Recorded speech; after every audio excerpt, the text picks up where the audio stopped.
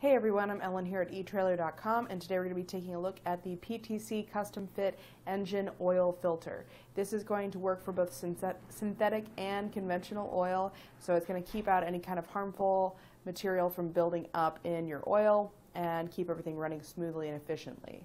This is a custom fit for the following vehicle that you see on the screen there.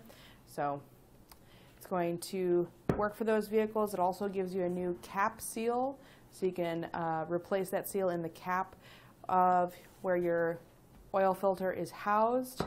The manufacturer does recommend that you change out your filter every 5,000 miles, but it's not a bad idea to check the um, or the manufacturer recommends you change this out, but it's not a bad idea to check your owner's manual for your vehicle. Make sure that they don't say anything different. If they do, go off of those recommendations. But typically 5,000 miles is the pretty common uh, recommendation. So that's pretty much going to do it for our look at the PTC Custom Fit Engine Oil Filter.